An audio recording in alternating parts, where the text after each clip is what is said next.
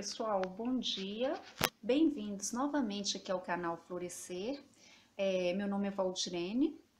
É, eu sei que eu tô um pouco atrasada, né? Não tenho postado mais vídeos, mas é porque na realidade eu não tenho tido muito assim o que mostrar nos vídeos, porque a maioria das minhas orquídeas, elas estão sem flores, então não tem nenhuma novidade ainda para estar postando.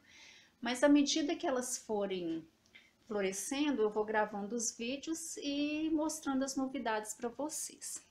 Mas o que eu quero mostrar para vocês, pessoal, é essa orquídea que eu tenho aqui, essa orquídea Cherry Baby, né, a famosa orquídea chocolate.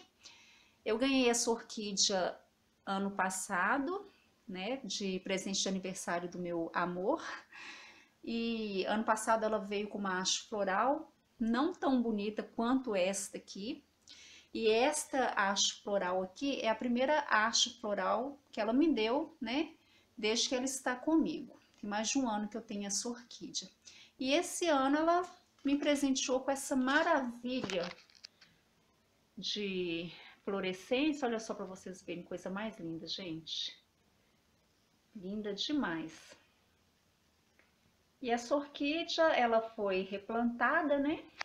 Não sei se eu vou conseguir mostrar para vocês aqui. Sim, acho que vou.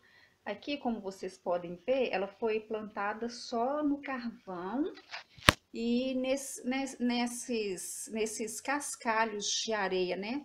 Aquela areia de construção que a gente compra, né? Eu tô mexendo com construção aqui na minha casa, com reforma, então, a areia foi peneirada, essas pedrinhas que sobraram, eu lavei, né? Fiz uma higienizada nelas e coloquei aqui por cima do carvão, nada mais, apenas para dar peso, porque é um vaso assim, que se ficar só com carvão, qualquer ventinho joga ele longe. Então, eu coloquei essas pedrinhas para dar peso. O vaso gostou muito. Aqui vocês podem ver, ó, que ela está com algumas manchas escuras, mas isso é característico da Cherry Baby, viu, pessoal? Isso não é nenhum fungo, nenhuma praga, nada não. Isso aqui é a incidência da luz, né? Quando ela recebe muita luminosidade, ela fica com as folhas bem pintadinhas assim. Mas essa orquídea, ela gostou muito de ter sido plantada no carvão, né?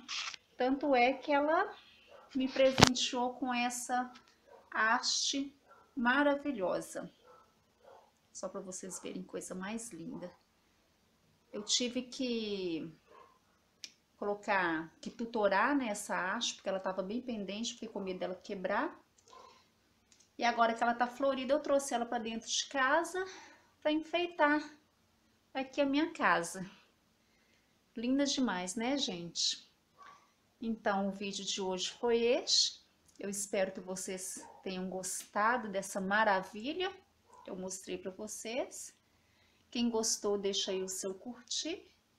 E não se esqueça de se inscrever no canal. Bom, pessoal, então o vídeo de hoje foi, foi este. Agradeço a companhia de vocês. E tenham todos um ótimo dia. Um beijão.